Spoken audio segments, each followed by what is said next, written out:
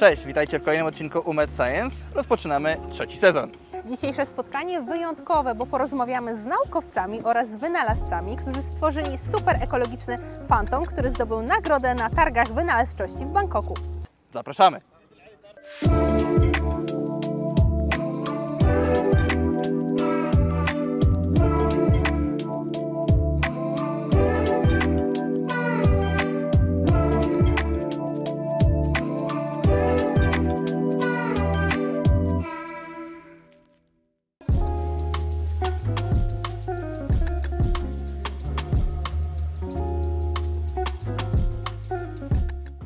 Czym różni się ten fantom od tych, które są już dostępne na naszym rynku?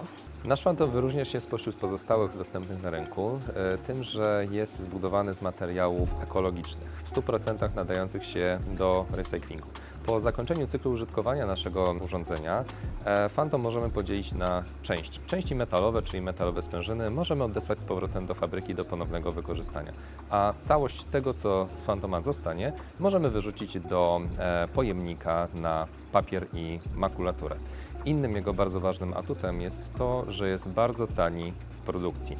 E, Kolejnym jest to, że wykorzystujemy unikalną aplikację na telefon komórkowy, e, którą po dopracowaniu e, będzie można wykorzystywać do dawania realnego feedbacku z uciśnięć klatki piersiowej. Dzięki temu nasz Phantom nie posiada żadnej dodatkowej elektroniki. RKO jest wymagającą czynnością. Aby się tego nauczyć, trzeba dużo trenować. Czy ten trenażer jest wytrzymały? Tak, e, do tej pory przeprowadziliśmy dwa testy wytrzymałościowe naszego Fantoma. Pierwszy polegał na tym, że do testu użyliśmy urządzenia do mechanicznej kompresji klatki piersiowej Corpuls. Po tym teście możemy powiedzieć, że nasz Phantom wytrzymał ponad 75 tysięcy uciśnięć klatki piersiowej e, bez uszczerbku w konstrukcji. Drugi test, który przeprowadziliśmy, był troszeczkę bardziej medialny. Przeprowadziliśmy go w czasie dni otwartych naszego uniwersytetu. Zaprosiliśmy do tego testu uczniów i e, studentów, którzy odwiedzili nasz e, centrum kliniczno-dydaktyczne. W trakcie nieprzerwanych uciśnięć klatki piersiowej, które trwały łącznie ponad 4 godziny, uczestnicy tego testu ucisnęli klatkę piersiową ponad 31 tysięcy razy, również bez żadnego uszczerbku e, w konstrukcji naszego fantoma. Projekt ten powstał dzięki współpracy, którą nawiązaliście razem z Politechniką Łódzką oraz Akademią Sztuk Pięknych. Jak skonstruować tak interdyscyplinarny zespół? Z Politechniką Łódzką współpracowałem już wcześniej w trakcie mojego poprzedniego projektu wideolaryngoskopu. E, Współpracowałem z osobą, która jest dyrektorem Centrum e, Technologii Informatycznych Politechniki Łódzkiej. Jest to inżynier oraz informatyk dr Przemysław e, Sękalski, w związku z czym z przyjemnością przystąpił do tego e, projektu. Jeżeli chodzi o część designu oraz materiałów, które wykorzystaliśmy w naszym projekcie, wsparliśmy się wiedzą i doświadczeniem doktora Rafała Dobruchowskiego, który jest dyrektorem Centrum Designu naszej Łódzkiej Akademii Sztuk e, Pięknych. Współpracujemy też już od jakiegoś czasu i wszyscy z przyjemnością przystąpili do tego projektu, do udziału w tym projekcie. Projekt osiągnął ogromny sukces. Czy masz jakieś rady dla młodych naukowców pracujących na naszej uczelni, którzy też mają pomysły, ale może troszeczkę brak im śmiałości do tego, aby je realizować? No właśnie kluczem do tego wszystkiego jest to, żeby nie bali się ich zrealizować. Przy Centrum Innowacji i Transferu Technologii mamy koło e, innowacji, e, do którego serdecznie Państwa e, zapraszamy, aby taki pomysł skonsultować. Przede wszystkim nie bójcie się swoich pomysłów, skonsultujcie je najpierw, e, otrzymacie wiele cennych rad od e, naszych kolegów, którzy już e, przeszli pewną drogę w zakresie e, innowacji i otrzymacie niezbędne doradztwo w celu pozyskania środków, zaprojektowania rozwoju swojego e, produktu oraz dalsze wsparcie w ochronie intelektualnej. Bardzo dziękuję Ci Marcinie za rozmowę Również dziękuję. i życzę oczywiście dalszych sukcesów. Dziękuję bardzo. Dziękuję.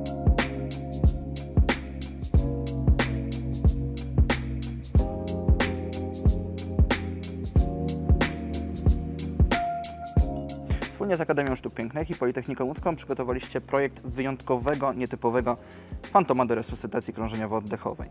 Powiedz nam, co jest w nim takiego wyjątkowego nietypowego? Ha, no, pomysł zrodził się w mojej głowie mm, podczas e, lockdownu w trakcie pandemii e, SARS-CoV-2. Tak naprawdę wywodzi się z frustracji związanej z e, koniecznością prowadzenia zajęć zdalnych z czynności typowo podstawowych, właśnie w zakresie resuscytacji, zarówno podstawowych, jak i zaawansowanych zabiegów resuscytacyjnych. Zacząłem się wtedy zastanawiać, jak e, wprowadzić w życie nauczanie hybrydowe, e, o którym mówi już coraz więcej publikacji naukowych zajmujących się badaniami nad skutecznym nauczaniem resuscytacji. Natomiast no, okazało się, że fizycznie nie- za bardzo jest jak wysyłać fantomy do e, podstawowych zabiegów resuscytacyjnych do studentów, jak logistycznie je odbierać, dezynfekować. Stąd też zacząłem zastanawiać się nad rozwiązaniem, które mogłoby zostać u studenta czy u kursanta, ponieważ ten problem dotyczył również e, ciągłego nauczania a, pracowników, dzieci i tak naprawdę wszystkich, którzy powinni uczyć się mm, postępowania w nagłym zatrzymaniu e, krążenia.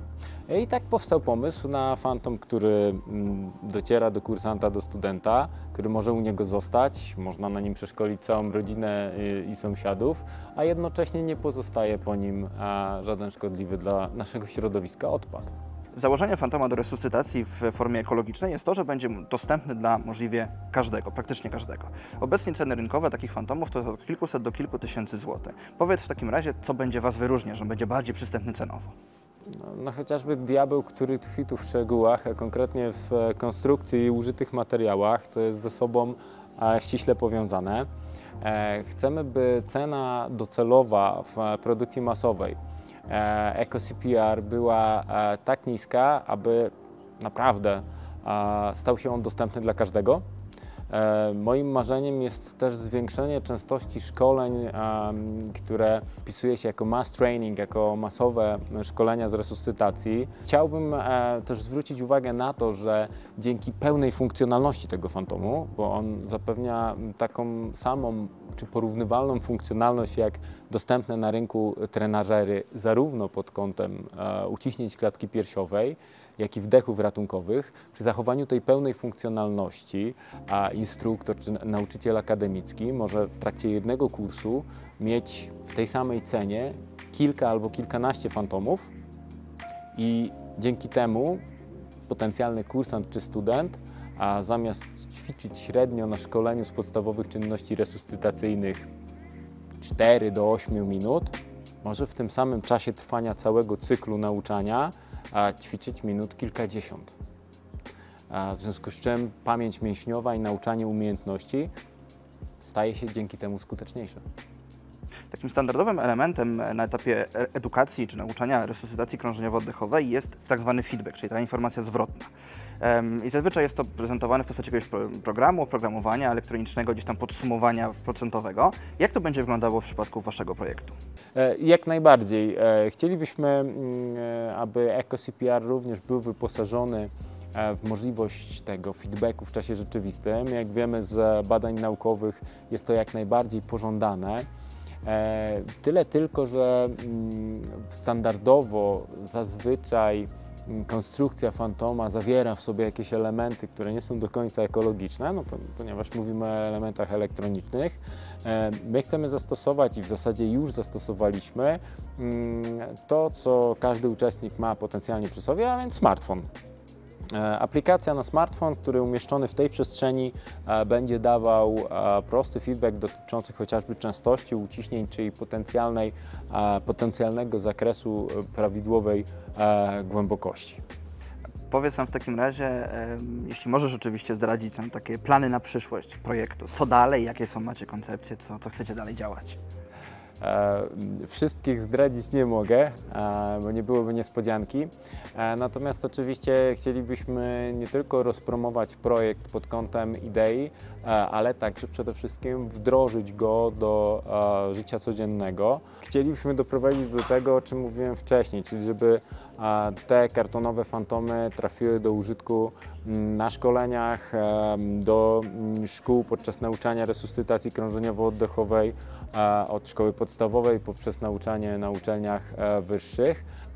E, Problem polega na zaimplementowaniu tej wiedzy i umiejętności mm, do codziennego życia i do całości społeczeństwa. Mamy nadzieję, że EcoCPR będzie właśnie odpowiedzią na te potrzeby. W takim razie i również my trzymamy kciuki, aby Wasze idee się spełniły. Filipie, bardzo dziękuję Wam e, za dzisiejszą rozmowę w imieniu całego ja zespołu MedScience. Życzymy powodzenia i dalszych sukcesów. Dziękujemy. Wszystkiego dobrego.